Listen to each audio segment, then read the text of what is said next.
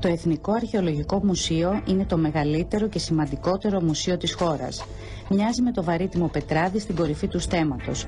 Οι συλλογές του κατατάσσονται στις πλουσιότερες του κόσμου με ευρήματα από την 7η χιλιετία π.Χ. έως τον 5ο αιώνα μετά Χριστόν. Αριστουργήματα από μάρμαρο, χρυσό, χαλκό και πυλό κοσμούν τις προθήκες του παρέχοντάς μας γενναιόδωρα πληροφορίες για την ιστορία αυτού του τόπου από την αρχή του νήματος της ανθρώπινης παρουσίας ακόμη. Τι να υπενθυμίσεις από τα εκατοντάδες έργα του; Το βέβαιο είναι ότι δεν χορταίνεις να τα θαυμάζεις.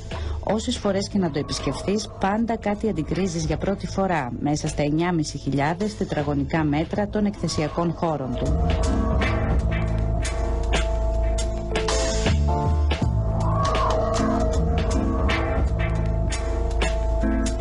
Μυστικά του Εθνικού Αρχαιολογικού Μουσείου δεν εξαντλούνται σε αυτά που βλέπουμε όμως.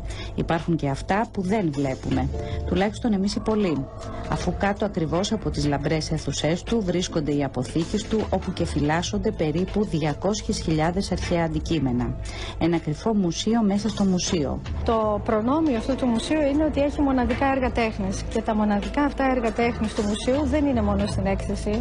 Η έκθεση καταλαμβάνει 9.500 τετραγωνικά μέτρα. Άλλα 3.500 τετραγωνικά μέτρα βρίσκονται στις αποθήκες μας όπου φυλάσσονται 200.000 αντικείμενα. Η ιδιαιτερότητα λοιπόν αυτού του μουσείου, και έτσι έχει συμβεί από τότε που δημιουργήθηκε, είναι ότι έχει τα μοναδικά έργα τέχνης από όλη την Ελλάδα. Εδώ έχουν συγκεντρωθεί τα μοναδικά. Είναι λοιπόν πάρα πολύ δύσκολο να πούμε αυτό είναι το top, αυτό είναι το σημαντικό και τα άλλα είναι στη δεύτερη κλάση. Γι' αυτό το λόγο λέμε και στους επισκέπτες μας, μην περιμένετε με μία επίσκεψη να εξαντλήσετε το Εθνικό Αρχαιολογικό Μουσείο. Δεν υπάρχουν highlights, είναι όλα σημαντικά, όλα απαιτούν το χρόνο τους Όλα αυτά θα ήθελα να τα έχει ένα ξένο μουσείο, αλλά δεν τα έχει. Τα έχουμε εμείς. Γι' αυτό και είμαστε πολύ περήφανοι για το Εθνικό Αρχαιολογικό Μουσείο. Για τον λόγο αυτό, εδώ και δεκαετίες γίνεται συζήτηση για την ενυπογείου επέκτασή του. Τόσο για να αναπνεύσουν τα ευρήματα που ήδη εκτίθενται, όσο και για να δημιουργηθούν σύγχρονες υποδομές για περιοδικές εκθέσεις και εργαστήρια. Ωστόσο, τα τελευταία χρόνια επικρατεί σιγεία σειρμάτου επί του θέματος. Οι άνθρωποι του όμως, παρά τις δυσκολίες που αντιμετωπίζουν, όχι μόνο δεν το βάζουν κάτω, αλλά γεννούν ιδέες που αποδεικνύονται ιδιαιτέρως επιτυχής στην εφαρμογή τους. Μία από αυτές είναι το Αθέατο Μουσείο.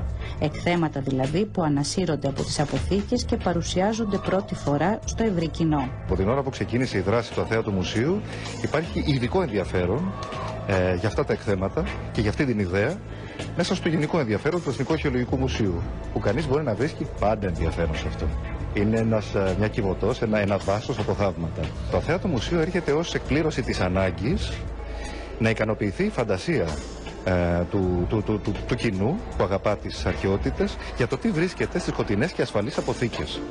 Και είναι αλήθεια ότι τα περισσότερα, τις περισσότερες αρχαιότητες της χώρας αλλά και όλων των χωρών της Μεσογείου βρίσκονται στις αποθήκες και όχι στις προθήκες.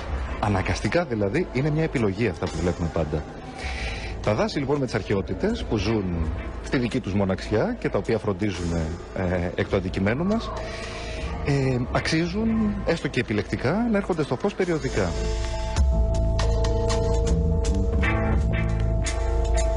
Για το προσεχές διάστημα, στο πλαίσιο της δράσης Αθέατο Μουσείο, προβάλλεται ένα κομψοτέχνημα, ένα μικρό άγαλμα της Θεάς Αρτέμιδος. Ένα αριστουργηματικό χάλκινο αγαλμάτιο που αλλιεύθηκε ακούσια από ένα αλλιευτικό σκάφος το Μάιο του 1959, σαν τώρα δηλαδή, Μάη μήνα, και που παραδόθηκε από τους ανθρώπους του αθέατου φιλότιμου, όπως λέμε, δηλαδή τους ανθρώπους που είπαν ότι αυτά δεν θα γίνουν αντικείμενο εμπορίας, αλλά αντικείμενο κοινής παιδείας και απόλαυσης.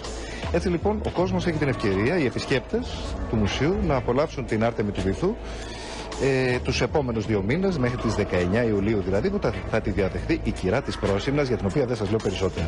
Τι ακριβώς όμως εκπροσωπούσε το αγαλμάτιο της θεάς του κυνηγιού και της γονιμότητας που χρονολογείται στο τέλος του 4ου π.Χ. αιώνα; Θα ήταν ένα ανάθημα, προσφορά δηλαδή κάποιου πιστού σε ένα ιερό της Αρτέμιδας ε, που σκοπό θα είχε αυτός ο άνθρωπος ε, να επικαλεστεί τη θεά είτε για να την ευχαριστήσει για κάτι που του έκανε είτε για να την παρακαλέσει.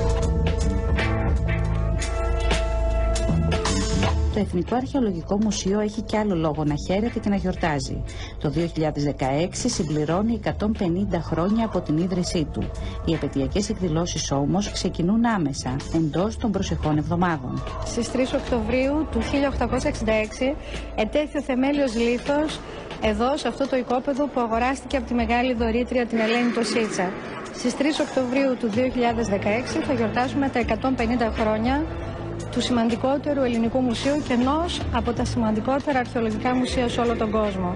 Είναι λοιπόν μια πολύ σημαντική επέτειος και έχουμε αποφασίσει να τη γιορτάσουμε με διάφορες δράσεις και με μία σειρά, με μία τριλογία περιοδικών εκθέσεων. Τα σημαντικότερα γεγονότα του, της νεότερης ιστορίας μας συμβαδίζουν με την ιστορία αυτού του μουσείου. Οι φάσεις, η εξέλιξη των κτηριακών του δομών, η εξέλιξη των συλλογών του, ε, οι περιπέτειες, όλες οι περιπέτειες του Εθνικού Αρχαιολογικού Μουσείου ταυτίζονται ουσιαστικά με την ιστορία του νέου ελληνικού κράτους. Αφορμές λοιπόν υπάρχουν πολλές για όποιον θέλει να πραγματοποιήσει ένα συναρπαστικό ταξίδι στην ιστορία μπαίνοντας στη μηχανή του χρόνου που λέγεται Εθνικό Αρχαιολογικό Μουσείο.